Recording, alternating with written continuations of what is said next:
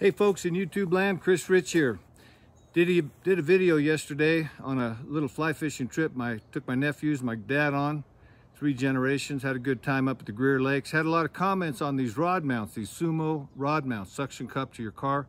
Had them for a long time, thought I'd do a little review. A lot of people said they liked them. What kind were they? How do they work out? Let's take a look at them. Here's the rod mounts on the 4Runner.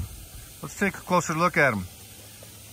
The suction cup so you can see that they've got to be on a flat spot. You know, so like right here, they wouldn't fit. So I had to turn this at a little bit of an angle, which will allow you, you've got an adjustment right up in here to move this whatever angle you want to. You've got adjustments here to move those in whatever angle you want to. You put them down on a flat spot, you push that, there's a little button here, you kind of suction it down, and then you pull this lever to tighten the suction, and there it is, tight as can be.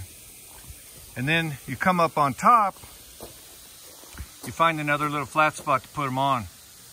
They work real good. I've had these for about 12 years.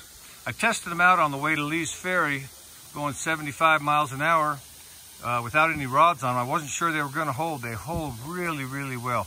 I've had these about 12 years. I keep them in out of the sun when I'm not, not using them. Uh, been, been real, real happy with them.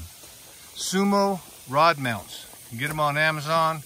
I think you can get them at Orvis, maybe some other fly shops. I like these better than the magnetic. A lot of them I've seen are magnetic right here. And the magnetic, if you've got any little bit of dust in there and those magnets will kind of hold on to some of those metal rocks, you end up with scratch on your paint. So anyhow, that's my review. I've been real happy with them. Just thought I'd let everybody know.